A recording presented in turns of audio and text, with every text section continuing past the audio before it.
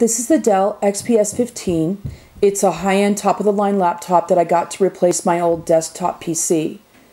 As computer goes, I think it's beautiful, powerful, and easy to carry or move around. Um, it has so many great features like the stunning ultra high definition 4K touchscreen. I work as a graphic designer, so this is really a huge benefit for me.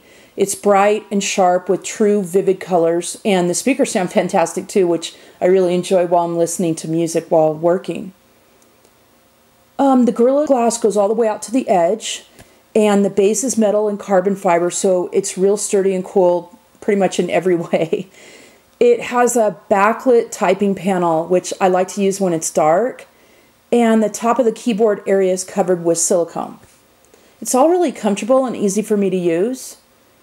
It's also really very thin, which I really like, but the case was actually too thin for an Ethernet plug, so I got a USB to Ethernet adapter for it.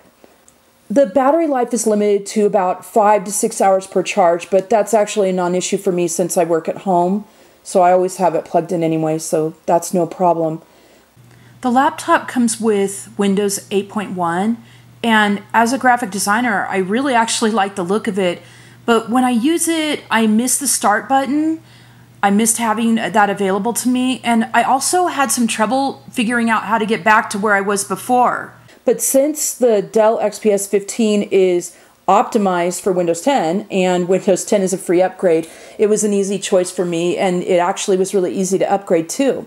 So let me show you how I downloaded and installed Windows 10. When I first ran Windows 8, it asked if I wanted to upgrade to Windows 10 I said yes, and that was that.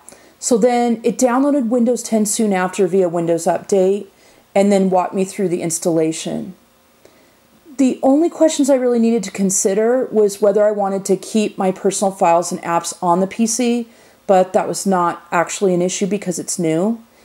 And the second one was whether I wanted to grant permission so I could access the free apps from the Windows Online App Store which I do. So I just clicked yes, yes, and that was it. Um, since I'm coming from Windows 7, I'm actually really comfortable with the Windows 10. It has a familiar look and feel with some extra functions added in. It starts up really quick and offers improved security, so I don't even need a separate antivirus application. It also works with the existing software and hardware I already have running. I'm glad I was able to get Windows 10 while it was being offered for free. Plus, apparently they're going to be continually up, updating and improving it from now on, so that'll be really nice too.